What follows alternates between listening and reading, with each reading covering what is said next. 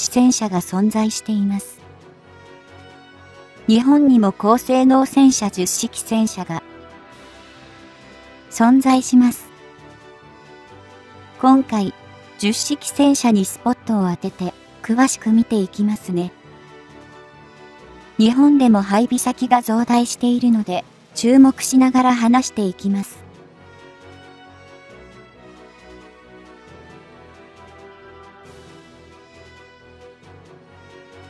2021年時点で陸上自衛隊が配備、運用している戦車は74式、90式、10式の3種類であり、それぞれ873両、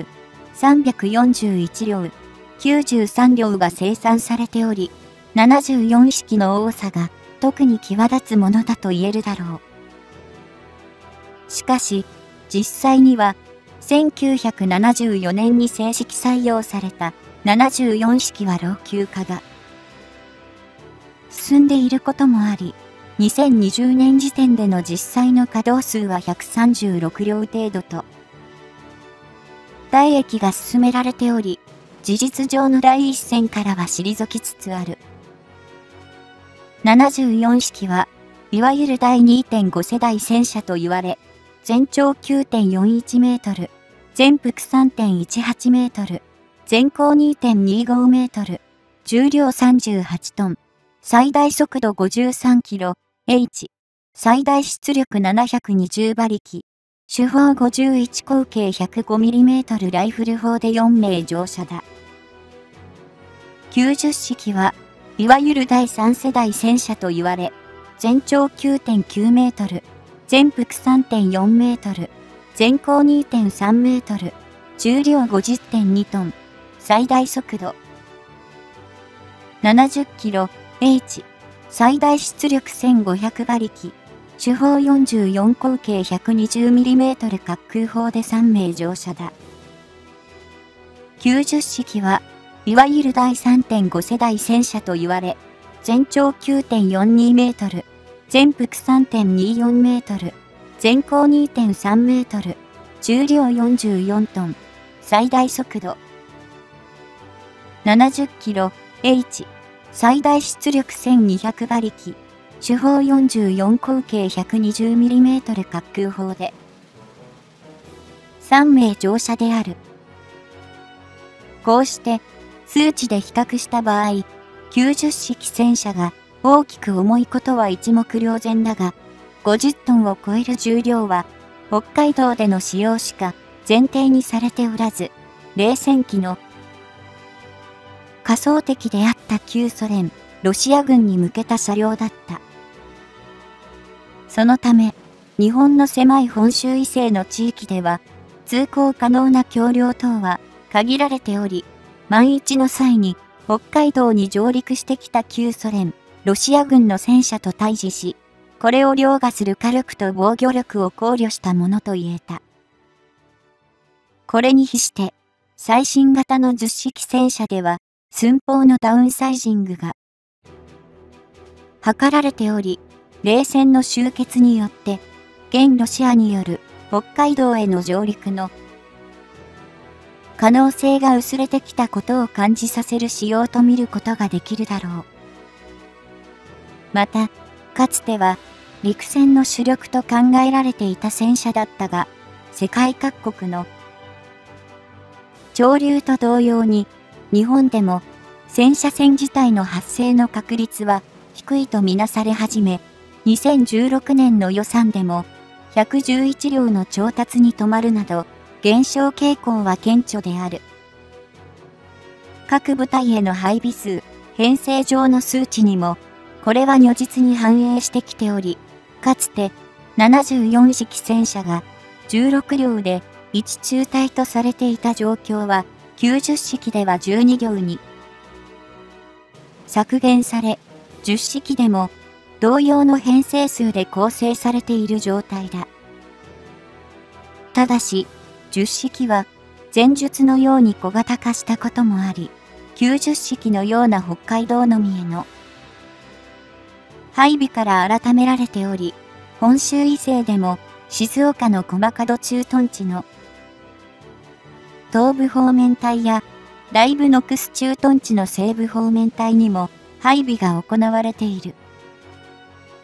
このため、90式戦車と比較すると、北海道以外でも10式戦車を目撃できる状況が発生しているとも言え、駐屯地付近を移動するこれらに出くわす可能性も増えており、ある種身近に回帰したとも感じられる。自衛隊の装備品の単価は、年度ごとの予算や製造数によって左右されるため、一概に算出することは困難だが、10式がおよそ8億から11億とされたものに、比して、10式は955億とそこまで上昇していない。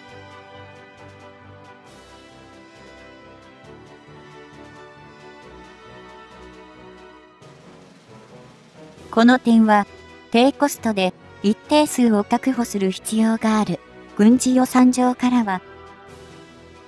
ありがたいメリットだとは言えるが、多くの指摘にあるように実式は、高温多湿の環境下にある日本にあって、エアコンが搭載されていない。これは、今日の各国の新型の戦車の中でも、極めて異例ないことであり、搭乗員たちの環境を良くするいわば人道的観点から必要だというのではなく、作戦行動上での人的能力の低下が懸念される部分だ。無論、戦車にエアコン等の空調設備を常設するには、その設備の重量や、積載場所の確保、そして何よりも現状よりも多くの電力を供給する必要が生じるため、発電能力の増強が不可欠になるだろう。こうした点を簡略化して安価に仕上げていることが、果たして実践で運用する。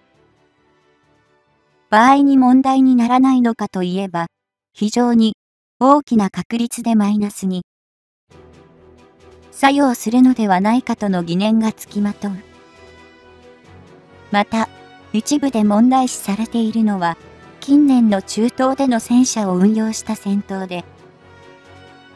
得られた戦訓によれば、正規軍同士の対戦車戦闘など稀で、非対称戦としての対歩兵傾向火器への対処が重要とされている点だ。中東のイラクやアフガニスタン等の戦場におけるアメリカ軍の主力戦車 M1 等の死たる被害はロシア製の RPG7 等の携帯ロケット兵器か、地雷惜しくは、それに類する爆発物によるものだと判明している。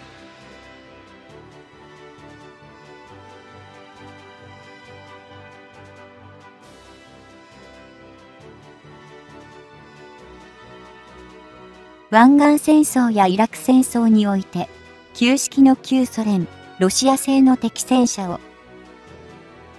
ほぼ自軍に損害を生じることなく、一方的に破壊した M1 戦車であっても、こうした非対称な攻撃には、かなりの損害を被っている事実がある。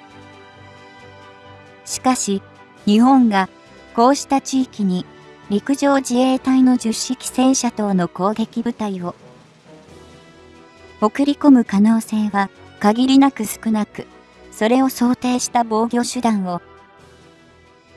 講じておくべきだというのは、非常に難しい注文であるとも言えそうだ。